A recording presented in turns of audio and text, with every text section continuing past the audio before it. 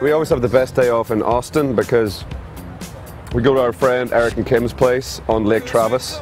Um, we just parked the tour bus up right outside it, so when we wake up, whenever we wake up, I, got, I was so excited. I woke up at 8 o'clock this morning. It's not usual for me on tour, but um, we have a place right on the lake, and may have uh, loads of jet skis.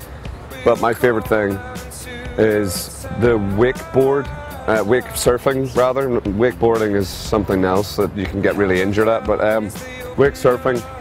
So you're actually on a surfboard, and you're you're towed initially behind the boat, creating a wave. But uh, if you get yourself in the pocket, you can just let go of the rope and you can surf for like miles just along the lake. And that's what I've been doing all day, all day, up and down the lake, just in absolute heaven. So um, yeah, I'm just about as relaxed, probably too relaxed for a show to be honest. But uh, that's not a usual day off. That was just a beautiful, beautiful, beautiful day off.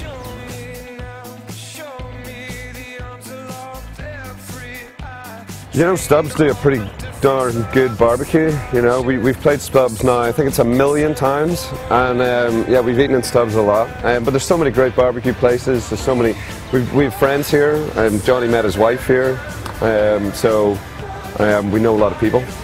And they take us to amazing places. There's an amazing sushi place that I can't remember the name of. I mean, when you're in Texas, when you're in Austin, I mean, gotta have some barbecue. I mean, we're only here for, in Texas for three days.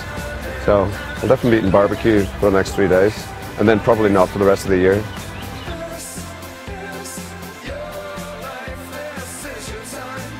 More recently, though, albums that have been out in the last two years but have, are still on my ro heavy rotation are Bon Iver's second album, or Bon Iver.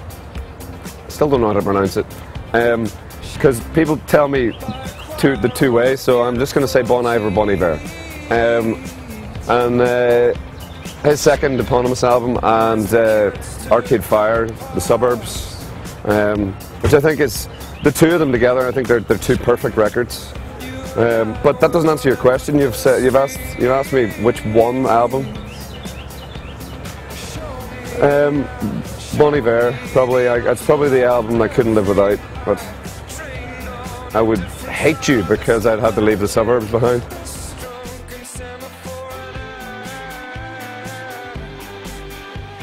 And uh, yeah, I fall over all the time. I, I, I talk a lot when we're on stage, um, in between songs, not during them. And uh, tend to get myself into all sorts of trouble.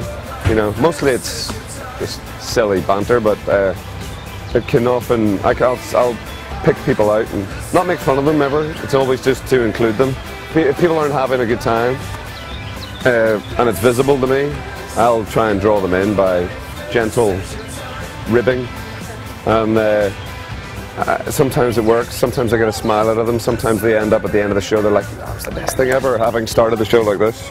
Um, and sometimes they still hate me at the end, and they may well be the result, the, the, the they may, may be the um, cause of my untimely death at some point.